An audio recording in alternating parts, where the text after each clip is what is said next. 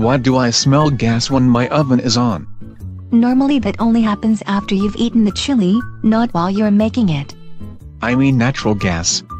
I smell natural gas when the oven is on. Then you better turn it off. What could cause me to smell gas when the oven is on? Sometimes people smell gas when the kid have moved the knob, turning on gas but the ignition has not kicked in, but that means you have a gas leak. Solved by turning the knob all the way back. Or lighting the pilot light. Older gas ovens had pilot lights that stayed lit whether in use or not.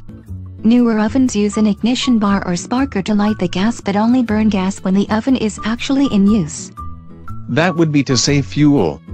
You could also smell gas if the burners are not working right or the gas valve is open even when the knob is said to be closed.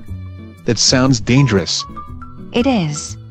That's why the utility company will send someone usually for free to check for leaks. I've heard this is normal. It is normal to smell a faint whiff of gas as the gas supply engages for a few seconds before the burner. In some units, you also smell a little when the gas flows through the thermostat to the burner and the thermostat tube is leaking. I do smell it when I first turn it on. If the gas keeps coming and the unit takes forever to ignite, you have a serious problem. So the ignition bar or igniter should be replaced.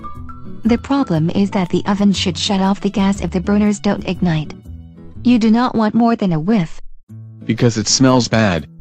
More than that, and you're at risk of inhaling toxic fumes and a house explosion.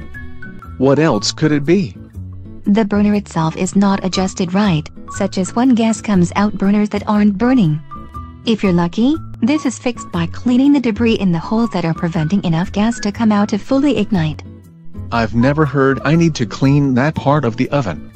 You could also smell gas if the ignition is on one side and the crossover port to light the other side of the burner is clogged, so the other half of the burner does not ignite. Of course you do that cleaning when the oven is off. Otherwise the result is the opposite of a clean kitchen.